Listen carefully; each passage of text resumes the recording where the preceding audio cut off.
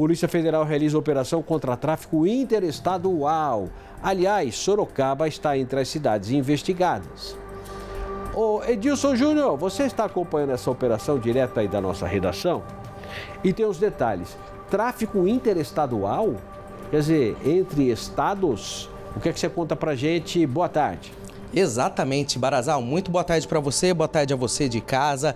Essa operação que foi deflagrada lá no estado do Amazonas, lá na capital Manaus, também teve este desdobramento aqui em Sorocaba. Ela teve início após a prisão em flagrante de um homem com mais de 10 quilos de drogas no Aeroporto Internacional de Manaus. A partir desta investigação, foram expedidos mandados de prisão preventiva, busca e apreensão em duas cidades do Amazonas e aqui em Sorocaba. Essa operação, ela combate o, o aliciamento de pessoas que serviam como mulas, que são aquelas pessoas que ingerem drogas, é, elas se deslocam entre aeroportos, tanto aqui no Brasil quanto em outros países, elas ingerem essas drogas como uma proteção e quando chegam no destino final, elas expelem as drogas e, e entregam a um receptador essas mulas elas transportavam drogas então entre os estados de, do Amazonas e aqui São Paulo. Uma delas foi identificada. Também foi identificado o suspeito que receptava essa droga no destino final. Também foram identificados os responsáveis por lavar dinheiro deste grupo criminoso de pessoas que eram pessoas laranjas e que usavam também empresas de fachada, entre outras técnicas para lavar dinheiro. Uma delas seria com a prática de venda, de compra e venda de veículos. Essa operação que foi deflagrada então lá no Amazonas e também teve a participação da PF aqui do estado de São Paulo, é, mobilizou mais de 70 policiais nos dois estados. Agora, a polícia ela segue investigando esse caso para identificar outras pessoas responsáveis que integrariam este grupo criminoso. E Barazal, esses criminosos, eles vão responder pelos crimes de tráfico de drogas, associação para o tráfico e lavagem de dinheiro. Se forem condenados, essas penas somadas podem ultrapassar os 30 anos de prisão. Eu volto com você. É, 30 anos de prisão, mas não quer dizer que é 30 anos de cadeia, né? Porque aqui no país é um negócio impressionante.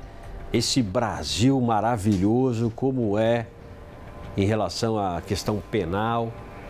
Puxa vida, tem muito recurso tal. O cara é condenado a 30 anos de prisão, aí ele não fica 15 na cadeia. Impressionante, porque tem semi-aberto, tem não sei o que e tal.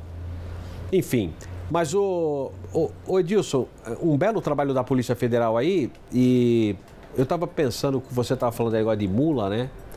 É, são aquelas pessoas que pegam a droga, a droga não é dela, não pertence a ela. Exatamente. Ela só é utilizada como instrumento para levar a droga de um lado para o outro, ou de algum outro destino.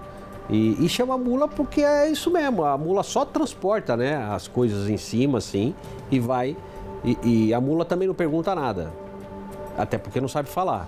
Mas nesse caso, esses caras também não perguntam nada eles só têm o destino e não sabem nem de onde vem a droga. Né? Por isso que na gíria policial também é chamado de mula, esses caras. E eu vou falar um negócio para você. É, enfim, a fama da mula é que ela é meio, né, limitada. E esses caras também são limitados. Porque vai, vai ser burro assim lá no inferno. Pegar uma droga e transportar para outro em troca de, de pouca grana, inclusive. Porque esses caras não são muito bem remunerados, não. É... Ah, Fora mas... o risco, né, Barazal? Fora o risco. Aí, sai, Barazal, você está falando aí que os caras não ganham bem, que tem que ganhar bem? Não estou falando nada disso. Eu não estou falando nada disso. Eu falei que os caras não ganham nada para carregar droga. Por isso que são burros. Vai trabalhar, pô. Arruma outra coisa para fazer. Esse dinheiro que a pessoa pega para transportar droga, certamente ela vai ter numa CLT, num outro emprego aí mais digno, é, porque transportar droga é brincadeira, né? É crime. Você não pode fazer isso. Não é, Edilson? Exatamente. É crime e elas arriscam as próprias vidas, afinal, hum. elas ingerem estas drogas ali com uma proteção. Porém, em, muitos casos, acontece desta proteção acabar derretendo no sistema é, digestivo né, do corpo e essas pessoas acabam sofrendo overdose e acabam até morrendo. Pode morrer de ataque cardíaco, inclusive, por causa é, da droga que entrou de uma vez com muita, muita potência dentro do organismo, o organismo não aguenta. É, muita quantidade, o, orga, é, o organismo não aguenta. Então, assim, isso sem falar, o Edilson, quando não é para fora do país, né?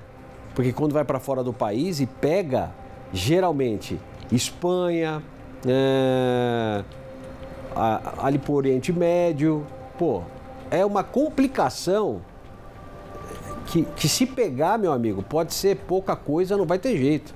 Vai ficar preso mesmo. Lá não tem moleza, não. Né? Em alguns casos, inclusive, tem até pena de morte para esses tráficos morte entre países. Na Indonésia. Indonésia, isso aí. Vai... Teve um brasileiro, inclusive, há alguns anos, que foi executado por causa disso. É verdade. E as pessoas arriscam a própria vida com a droga dentro do corpo e com esse tipo de problema se vier a acontecer. Obrigado, Edilson, pelas suas informações.